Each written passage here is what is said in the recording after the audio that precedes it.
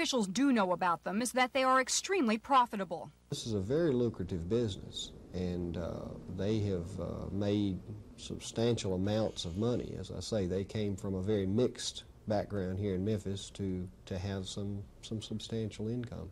But despite the fact that they make a lot of money, and despite the fact that the product they sell is questionable at best, uh, being a Baptist deacon, I'm very well uh, shocked that uh, someone would, would even attempt to send this through the mail. I could look at this, and my own opinion would be yes, it's obscene. It shocks my modesty. There is not much authorities can do to control them. The company we've been investigating, SHL Enterprises of Memphis, Tennessee, for example, is not licensed to do business in Georgia. Its owners, Ralph and Ernie Lunati, do not pay state taxes, even though it's apparent they are doing hundreds of thousands of dollars worth of business here. Hi, this is Easy. I would like you to join my private phone club for $18.99 so you can call me or one of my girlfriends and we'll talk about all kinds of erotic loving. As a result of our findings, investigator Pat Holmes of the Georgia Secretary of State's office sent a letter to the Lunatis last week asking them to register immediately or face possible prosecution. But even so, state officials say manpower shortages and a lack of statutory authority make their job very difficult. A corporation may be excluded from having to register if that corporation solicits or procures orders through the mail or through agents or otherwise this is a, uh, an exemption that I think that's probably uh, uh, thrown into our face, into the investigative section's face, uh, all of the time. Uh, I think that provision is a thorn in our side as far as enforcement, and that provision needs to either be excluded or modified so that we would have some teeth, that we could go after these mail order businesses that have a great deal of contact with the public. You know, you can't protect people from themselves. But on the same to by the same token, I'd like to say that if a business does, you know, a corporation or an entity does business in this state, they should be in compliance with filing requirements so that the, state, the citizens of this state will be protected. But smut peddlers like SHL Enterprises aren't the only companies guilty of this.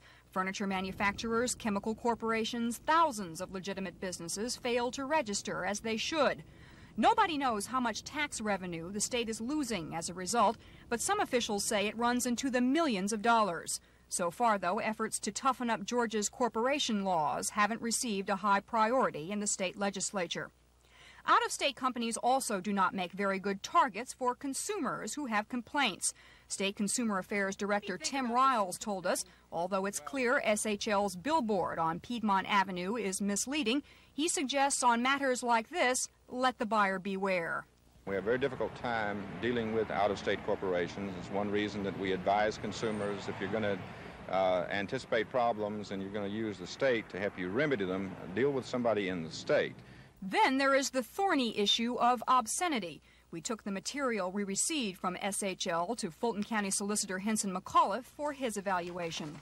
Some of the material that you received in the mail here would probably be in violation of our obscenity laws and particularly this uh, little piece of paper that you have given me because I think this uh, reading material is obscene under the law of the state of Georgia. After seeing what we had uncovered, investigators from the solicitor's office launched an investigation into the Lunati brothers' operation. But even McAuliffe, perhaps the most successful smut fighter around, admits getting a conviction for obscenity will not be easy. The person is apparently in Tennessee rather than being here in Georgia. And if we prefer a criminal charge against them, it means that we're going to have to go through the governor of Georgia and the governor of Tennessee to get extradition papers to bring them back to Georgia for committing a crime in Georgia. I don't think we'd have any problem in, you know, in prosecuting, for example, uh, the person who disseminated this particular uh, uh, sheet of paper. The Lunatis operation has also captured the attention of federal authorities. Atlanta Postal Inspector Dave Kirkland says the office in Memphis has received more than 500 complaints about the Easy Swingers Club. They're coming from all over the United States. Uh, we found that uh, consumers are upset, very upset, about receiving this material that is not what they ordered. It's a misrepresentation of fact and indeed, uh, the company is actually sending out unordered CODs. That is, the COD comes through the postman, The consumer gets the package, they realize, well, if I didn't order it, my spouse did, and at which point they pay for the COD. And then, of course, they are approached with a, a come on to join the organization, and they realize they have been ripped off. Right now, Kirkland says, postal authorities are trying to initiate action against the Lunatis to keep mail from coming into their post office box in Memphis. Once we do that, and I feel like we will be successful, we'll cut off uh, their profits for a time being. And uh, after that, we'll have to look at prosecution under the mail fraud statute. But Kirkland admits the case is still a long way from prosecution, and even if a federal judge agrees to allow postal authorities to cut off the Lunatis' mail, there's nothing to prevent them from just getting another post office box.